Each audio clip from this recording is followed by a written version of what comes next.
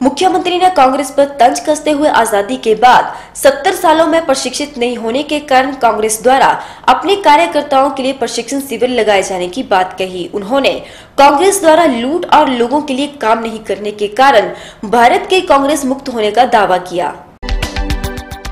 मुख्यमंत्री ने अपने दूसरे दिन के दौरे पर ऊना व हरौली में करोड़ों रुपए के विकास कार्यों के उद्घाटन व शिलान्यास किए।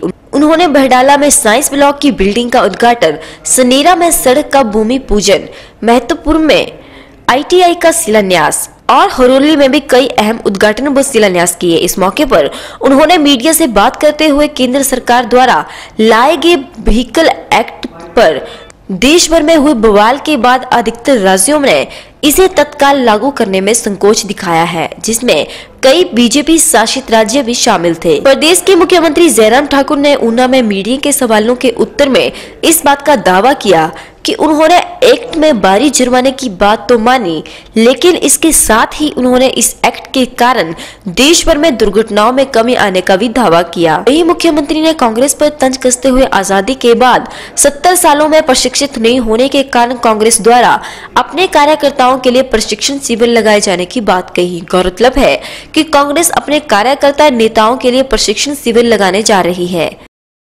वहाँ पर झगड़ा पैदा कर दिया कि यहाँ पर राम मंदिर बनना चाहिए कि नहीं बनना चाहिए।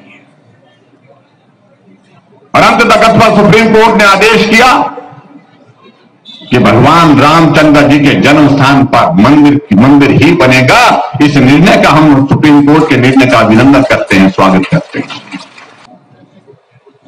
और अधिकांश लोगों ने स्वागत किया इस निर्णय का। अधिकांश दलों ने इसको स्वीकार किया। ये हमारे लिए अच्छी बात है।